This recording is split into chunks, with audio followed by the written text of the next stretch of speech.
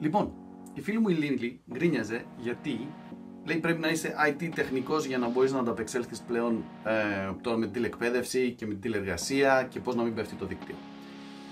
Δύο απλά πράγματα, δύο κατηγορίες πραγμάτων που μπορούμε να κάνουμε. Ας δούμε λίγο.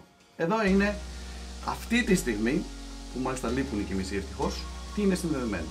Είναι ένα iPad παλιό, χρησιμοποιεί για δοκιμές και βλέπει YouTube καμιά φορά υπάρχει.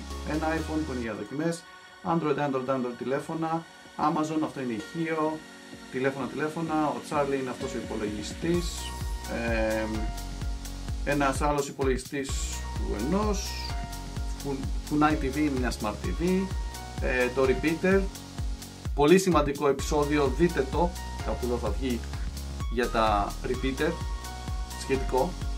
Galaxy, ε, HP, αυτό είναι ένα netbook, iLive είναι ένα ηχείο, ένα Kindle, ε, iPad, ε, τηλέφωνο, Pocophone, όλα αυτά είναι συνδεδεμένα στο δίκτυο. Δηλαδή, είναι σαν να έρχεται ένας αγωγός από τον provider, ο Vodafone, ό,τι έχετε, ο οποίος πείτε ότι αγοράζετε μια 50 γραμμή, πείτε ότι σας έρχεται 25 κάτι το δευτερόλεπτο. Data, έρχονται data.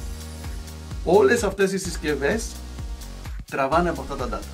Άρα, καταρχάς, η πρώτη δουλειά που έχουμε να κάνουμε είναι να βάλουμε προτεραιότητες. Να πούμε γιατί είναι συνδεδεμένα όλα αυτά. Πολλά από αυτά δεν ήξερα καν ότι είναι αναμένα. Αλλά τραβάνε. Οπότε, αυτό που μπορούμε να κάνουμε είναι ότι αν πάμε καταρχάς, ένα κόλπο που μπορεί να κάνετε δωρεάν είναι ότι σχεδόν όλα τα router έχουν guest network πλέον.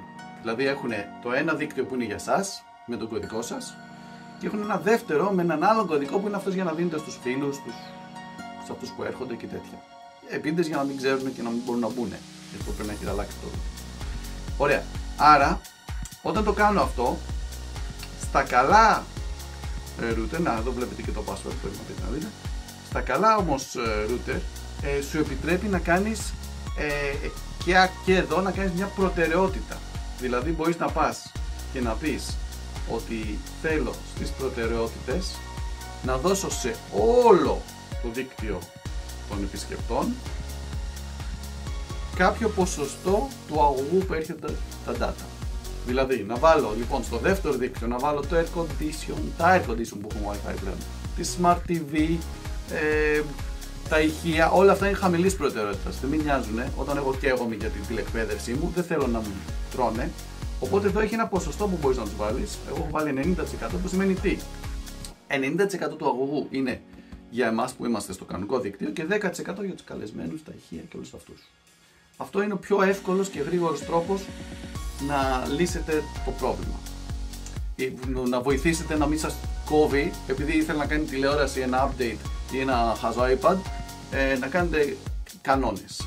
Ο δεύτερος τρόπος που μπορούμε να το κάνουμε με πιο προηγμένα δίκτυα είναι όταν πάμε εδώ στις προτεραιότητες μπορώ να φτιάξω έναν κανόνα ειδικά για μια συσκευή. Δηλαδή, μπορώ να πω ότι θέλω σε ποια συσκευή, στο Charlie, σε αυτό το laptop το οποίο δουλεύω τώρα, σε τι είδους κίνηση, όταν είμαι στο ίντερνετ, όταν κάνω τηλεφωνία για παράδειγμα.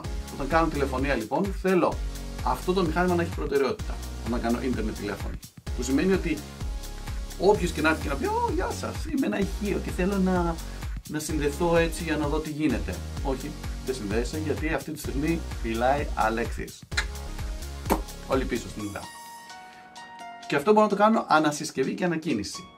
Μπορώ επίσης να πω ότι, να εδώ έχω πει ήδη, ότι μπορώ το BitTorrent, η Mule και άλλου είδους κινήσεις, μπορώ να πω όλο το YouTube για παράδειγμα, παραπεταμένο. Γιατί δεν θέλω, επειδή μπήκαν τώρα και βλέπουν όλοι οι Peppa Pig ας πούμε στο σπίτι, εγώ να μην μπορώ να μιλήσω με τη δουλειά μου. Αυτό είναι το δεύτερο πράγμα που μπορεί να κάνει τέτοιο. Και μετά μπορώ να πάω και να φτιάξω συγκεκριμένο προφίλ. Να, εδώ έχω ένα που λέει I από αυτό σου Apple συσκευή. Ε, το οποίο είναι για συγκεκριμένες συσκευές που θέλω να μπαίνουν κάποιες ώρες. Ας πούμε θέλω να μπορούν να μπαίνουν ε, κάθε τόσο, να κάνουν τα updates τους, σε αυτό, αυτές τις ώρες. Αλλά να μην με ενοχλούν όταν εγώ ξέρω ότι εκείνη την ώρα τρώω για παράδειγμα. Οπότε θα πω ότι αυτές οι συσκευές θα ακολουθούν αυτόν τον κανόνα που θα λέγεται I από αυτός από τη συσκευή. Αυτός είναι ο, λίγο πιο προηγμένος. Άμα έχετε ένα κουτί από το Fitbox 195 Οπότε, επαναλαμβάνω, μία λύση είναι να αναβαθμίσεις την ταχύτητα γενικά, αλλά επειδή, όπως είδαμε, υπάρχουν άπειρες συσκευές. Έχουμε δηλαδή όλο και περισσότερες συσκευές που συνδέονται στο ίντερνετ. Καλό είναι ούτως ή άλλως να βάλουμε μια τάξη, να δούμε στο router τι γίνεται και να ξέρουμε ποιος συνδέεται και τι κάνει. Γιατί αν το κάνετε εσείς, θα το κάνει το παιδί σας.